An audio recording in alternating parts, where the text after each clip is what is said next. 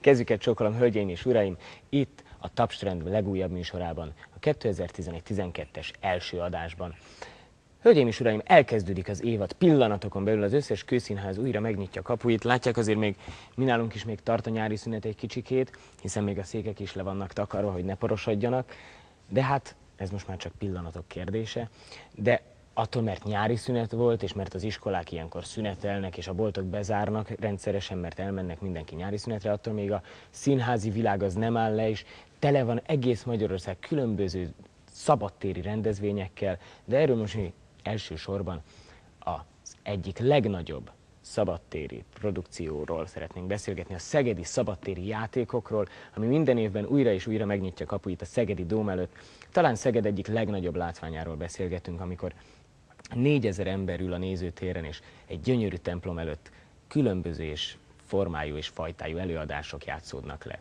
Most mi háromról fogunk önöknek beszélni. Fogunk a Vígözvegyről, a Valahol Európábanról és a Kármelről beszélgetni. Azt gondolom, hogy igazán széles most ez a repertoár, hiszen tulajdonképpen egy igazi magyar operetről van szó, egy igazi magyar musicalről, és talán az egyik legismertebb világhírű operáról, a Kármelről fogunk beszélgetni. Lehár Ferenc, Vígözvegy, a Szegedi Szabadtéren, Hercenik Anna, Kálmán Péter, Hauman Péter, Keszei Bori, Boncsér Gergely, Bajor Imre, Vida Péter, Mészáros István, Szacsvai László, Molnár Piroska, Földes Tamás, Csákányi Eszter, Gárdai Gábor, Hernádi Judit. Az előadást rendezte Kozma Péter. Hölgyeim és uraim, itt köszöntöm a nézőtéren Béres Attillát, a Valahol Európában című musical rendezőjét. Az lenne az én elsődleges kérdésem, hogy azért a valahol Európában az nem most szerepel először az életedben, ugye? Nem, ezelőtt tíz évvel megrendeztem Egerben. De hát azért tíz év óta azért sok minden történt az ember életében. Mondjuk, ha őszinte vagyok, az volt életem első nagy színpadi rendezése és első zenés rendezése, és valahogy úgy, úgy megpecsételt ezt a, elmúlt tíz évemet, mert nagyon arra felett volt, hogy hogy akár csak a többi színházba is, de itt az Operett Színházba is elkezdtem ilyen nagyobb formátumú zenés darabokat rendezni. Valahol ott kezdődött, valahol Egerbe.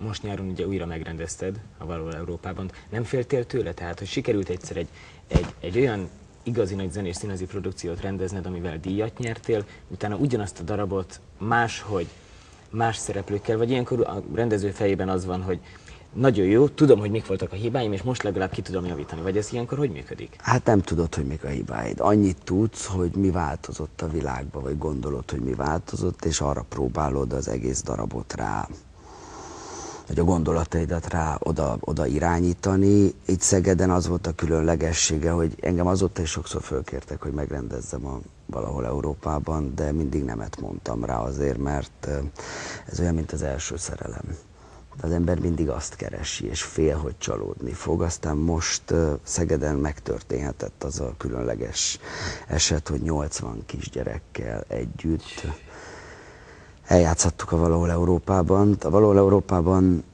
tulajdonképpen a közös tudatunk része, ezt kell mondanom. Olyan, mint egy görög sors tragédia. A hangsúlyok áthelyeződtek benne az elmúlt tíz évben, sokkal fontosabb lett benne érzésem szerint az egyenruhás szerepe, a befolyásoló erő, azt, hogy az embereket a kiszolgáltatottság mennyire befolyásolhatóvá teszi, vagy gondolkodás nélkül befolyásolhatóvá teszi, és szerintem sokkal erősebb ma a kuksi áldozata, vagy sokkal jobban kinyitja a szemünket a kuksi áldozata, hogy nekünk felnőtteknek mi a felelősségünk egy olyan világban, ahol, ahol tulajdonképpen, ha őszinte vagyok, a sárga csektől a sárga csekkig terjed az életterünk, hogy ezért annál sokkal fontosabb dolgok vannak, sokkal fontosabb a hit, sokkal fontosabb a, a valamilyen fajta módon bátran kimerem mondani, sokkal fontosabb az Istenről,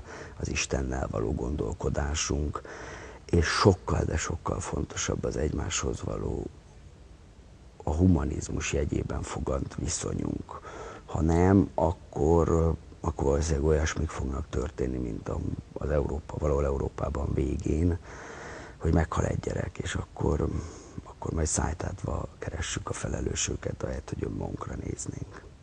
Valami ilyesmiről szól ma az Euró. Az, ami engem írtózatosan sokat segített, az, az a fajta átható erő, ami a gyerekekből, és átható energia, ami a gyerekekből ráakadt a Mácsaira, az Alföldire, a Szőcsartóra, a Tomposkátjára, vagy akár mondhatnám, mert mondtad, hogy nagy prózai színészek voltak, hát igen, a Keresztes Tamásra. Úgyhogy ez életem egyik meghatározó munkája lesz, azt gondolom innentől kezdve. Tehát erre a munkára mindig úgy fogok emlékezni, hogy, hogy úgy, úgy összeszorul a gyomrom, meg, meg hát könyvvel álmod a szemem néha. Egy utolsó kérdésként annyit kérdeznék, hogy ugye tíz éve volt az első való Európában rendezésed, idén volt a második, tíz év múlva a harmadik. Körülbelül milyen lesz? Hát ezt csak a világ tudja meghatározni. Tehát nem akarok, nem szeretném tíz év múlva megrendezni a valahol Európában, mert mondjuk ha tíz év múlva is meg kell rendezni a valahol Európában, akkor azt gondolom, hogy nem fejlődött semmit ez a világ. Én meg abban bízom, hogy tíz év múlva nem a valahol Európában kell megrendezni, hanem, hanem más történeteket. Addig írunk egy darabot. De amíg ezt megvárják, addig tekintsenek bele az előadásba. Most mi már el is kezdtünk, hölgyeim és uraim, egy vadonatúj darabot próbálni itt a Budapesti Operacínházban, ez a cigány szerelem. Nagyon röviden, mert erről még nem is tudunk bejátszott mutatni, hiszen tegnap meg tegnap előtt voltak az olvasópróbáink. Erről mondjál nekünk néhány mondatot. Cigány szerelem egy, egy fantasztikusan mély és elgondolkodtató szerelem története. Tulajdonképpen ha ironikusan fogalmazhatnék utalva egy film címére, akkor ez egy nap, két esküvő, és három vállás története. De, de ha nem akarok ironikusan fogalmazni, akkor azt mondom, hogy, hogy, hogy egy olyan szerelem története, amely nem teljesedik be, és mégis beteljesedik. És az, hogy cigány szerelem, hiszen itt van egy cím, amiről beszélni kell. Én azt gondolom, hogy igen, ez egy, ez egy fantasztikusan érdekes történet, egy cigányhegedűs fiú és egy erdély magyar kislány szerelme, amiben nem fontos az, hogy az egyik cigány, a másik magyar. Nem fontos, hogy az egyik ilyen, a másik olyan. Az fontos, hogy ők egymást hogyan vagy hogyan nem tudják megtalálni. Azt gondolom, hogy minden ember számára tanulságos lesz, hogy az ösztön vagy a gondolat uralja a szerelmi viszonyainkat. Szóval nagyon sok humorral, egy nagyon szép és nagyon mély szerelem története lesz. Nagyon szépen köszönjük, és akkor menjen Mátér az uszodába, kis gyermekedér. Önökkel meg még találkozom. Hölgyeim és uraim, ugye most már kettő darab szabadtéri produkciót láttak, most jön a harmadik, ö, izé, ö, izé, ö, bizé, Kármenje. Itt ül mellettem Fisül Mónika, egy igazi cigánylány nem az életben, hanem úgy szerepileg, amit utána majd itt az Operettszínházban folytatni is fogsz, de előbb a Kármenről mesélj nekünk, hogy, hogy milyen volt, ugye teli vagytok külföldi színészekkel, és, és az egész milyen volt, mesélj nekünk, milyen volt Szegeden? Én igazából így hirtelen csöppentem bele ebbe a produkcióba, mert ez tavaly ugye már lement egyszer, Kerényi Miklós Gábor rendezésében, fantasztikus rendezésében tényleg, és amiben én belecsöppenhettem, és amitől én teljesen el voltam ájulva, az a megmaradt tudás és munka, amit én itt láttam, főleg Angyar Márti és Boritomi révén, természetesen amit Kerény Miklós Gábortól kaptak. Olyan munkát folytattak ott 350 emberrel, szerintem körülbelül annyian voltunk színpadon meg zenekarral együtt, hogy az állam leesett. Tényleg, és, és fantasztikus produkció volt. Nagyon jó ö, énekeseket kaptunk, kaptunk egy fekete, nem cigány, fekete eszkámiót, kaptunk egy lengyel fiút, aki nagyon-nagyon jó tenorista volt. Ki volt még külföldi? Volt az én partnernőm, ő meg szerb kislány volt, és nagyon jó hangulatban zajlottak a próbák, én nagyon élveztem. Mennyivel nehezebb, ugye, de azért szoktál néha operákat énekelni, azért, de mennyivel nehezebb egy szabadtéren operát énekelni, mint mondjuk egy operettet? Mivel szabadtéren vagyunk, éppen ezért nincsen különbség az operett és az opera között. mivel mikroport van rajtunk, tehát nincs bennünk az a drup, mint például itt az színházban, ahol sajnos nem jó az akusztika, és ezért nagyon sokat küzdünk, hogy a melodrámákat, amikor zene van a próza alatt, azt azért túl kell nekünk beszélni, és hangosan kell beszélnünk, amitől kicsit hamissá is válik az a próza, és ezért dolgozunk nagyon sokat a próza. Nekem ez nagyon nehéz, főleg egy, egy énekesből át a vanzsácin. Én nem mondom magamról, hogy színész, énekes vagyok, tehát aki megpróbálkozik énekesként prózával is, annak ez nagyon-nagyon nehéz. Szerintem te abszolút színésznő vagy, aki mellesleg Isten ilyen is gyönyörűen énekel, tehát hogy ez, ezt mind a két oldalról lehet nézni. De hát ugye neked a férjed is egy tenorista. Otthon sokat énekeltek így együtt?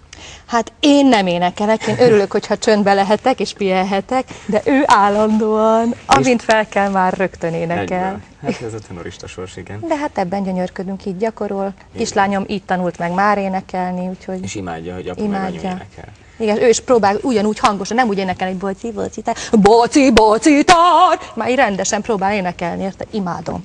És most bele is kezdtél egy vadonatúj próba folyamatban, jó, velem, ez a cigány szerelem, ugye ott is egy cigánylány, itt mondjuk nem cigánylány. Ez nem cigánylány. Itt igazi egy Ez egy magyar lány, igen, erdélyi magyar. Zórika. Szerintem ez is nagyon jó produkció lesz, Béres Attila rendezésében. Szulák Andrea lesz jelen, mint vendég, Segíts nekem Lehocki Zsuzsika. Lehocki, hát ő nem ugye, vendég. Nem, nem mint vendég, ugye ott lesz vendégként még a Csonkapici. Igen, velünk, meg még a... Meg Dolhai Attila, ugye a musical szekcióból, Igen. Itt, itt már volt egy-két átúszásról, most újra úszik hozzánk, ugye És ott van még... Verebes? Verebes Pista, Verebes Pista. Tényleg ott van Úgyhogy jó kis szereposztásnak nézünk elébe, de a hangulat az már fantasztikus, már volt két visszaolvasó próbák, és már nagyon jól éreztük magunkat. Na, de ebből majd a következő adásunkban most tekintsünk bele a Kármenbe. Hölgyeim és uraim, én úgy döntöttem, hogy ezt az évadot ezennel én megnyitom, ezt az adást most viszont be kell fejeznem, mert lejárt a műsoridunk, de kettő hét múlva újra találkozom önökkel, akkor a Miss Saigonról lesz szó itt, a Budapesti Operett Színházban, illetve arról a három előadásról Sopronban, a Musical Arénában, hogy hogy sikerült az igazi helikopter, több mint 15 ezer ember, ezt mind látni fogják. Két hét múlva. Csókolom! Kész vagyok az első sorral!